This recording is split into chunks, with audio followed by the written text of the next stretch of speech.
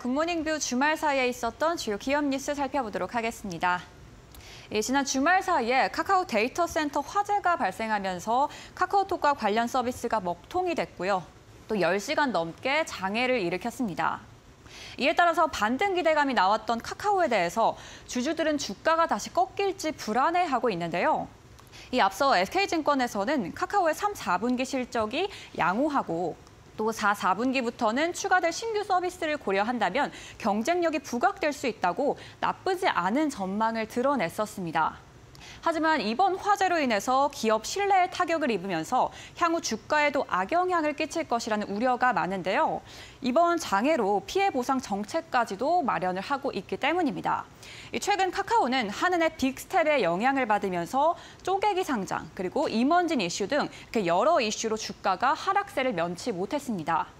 다만 이 카카오의 먹통으로 이렇게 대규모 혼란을 빚은 만큼 우리나라의 영향이 매우 크다는 점을 다시 한번 확인할 수 있었다. 이런 의견들도 나오고 있는데요. 오늘 시장에서 아무래도 관전 포인트가 될 것 같습니다. 오, 카카오와 함께 이 기업들 체크해 보시면 좋을 것 같습니다. 또 다음 뉴스 같이 보도록 하겠는데요. 이 LG에너지 솔루션이 세계 1위 자동차 업체인 일본 도요타에 전기차용 배터리를 공급합니다. 일본 자동차 업체로는 혼다에 이어서 두 번째인데요. 이 전날 업계에 따르면 이 LG엔솔은 도요타와 미국 현지 공장에서 생산하는 이 배터리를 도요타 미국 공장에 공급하기 위한 협상을 진행 중이고요.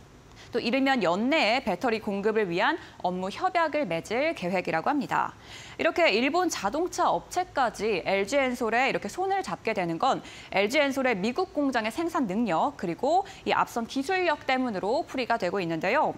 이 미국에서 인플레이션 감축법이 시행이 되면서 이 자동차 업체들로서는 현재 생산 배터리를 확보하는 게 선택이 아닌 필수가 됐기 때문입니다. 이 업계 관계자는 일본 혼다에 이어서 이 도요타도 납품 계약을 맺는 건 큰 의미가 있다면서 이 북미 시장에서 선제적인 입지를 구축해 나갈 것이다 이렇게 말을 했는데요. 이 LG 엔솔이 도요타에 이 전기차를 전기차 배터리를 공급할 수 있다는 소식도 참고해 보시면 좋을 것 같습니다.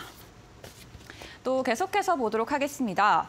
이 마크 저커버그 메타 플랫폼 CEO와 이 삼성전자 최고 경영진이 만났다는 사실이 뒤늦게 전해졌습니다. 현재 시간으로 13일 미국 캘리포니아주 실리콘밸리에 있는 삼성 리서치에서 만남을 가졌는데요.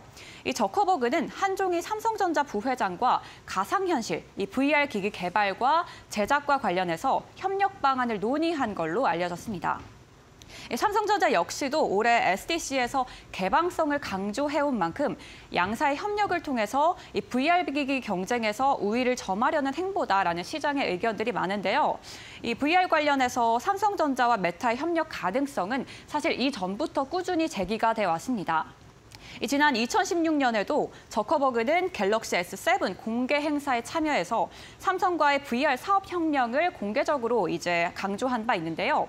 이렇게 직접적으로 저커버그가 협업을 제시한 건 또 이번이 처음입니다. 이 부진한 메타의 VR에 러브콜을 받은 이 삼성전자가 메타를 적극적으로 지지할지는 좀 더 지켜봐야 한다는 게 시장의 분석인데요.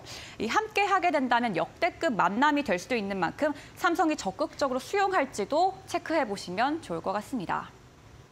또 다음 뉴스도 같이 보도록 하겠는데요. 이 수도권 레미콘 운송 차주들이 서울 시내 운행을 거부하면서 서울 도심 건설 현장이 올스톱될 이제 상황에 직면을 했습니다.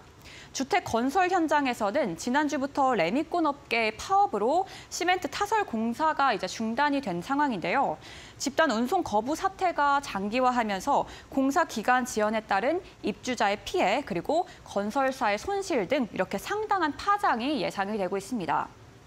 이 수도권 노조는 최근 서울 시내 진입이 어려워진 만큼 건설사 측의 운임을 더 올려달라고 하는 지금 의견이고요.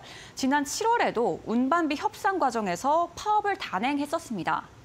당시 향후 2년간 24.5%를 인상하기로 이미 합의를 했었는데 또 다시 3개월 만에 집단 행동에 나선 거고요. 또 건설사와 레미콘 업체들이 강력 반발하면서 이 공사 지연이 장기화될 수 있다는 우려가 계속해서 나오고 있습니다.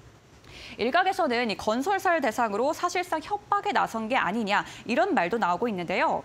이에 따라서 서울 도심 공사가 줄줄이 멈출 위기에 처해 있습니다. 이 건설사들에게도 피해가 막심할 걸로 보이는데요. 이 시장도 참고해 보시면 좋을 것 같습니다. 지금까지 굿모닝 뷰의 김예솔이었습니다.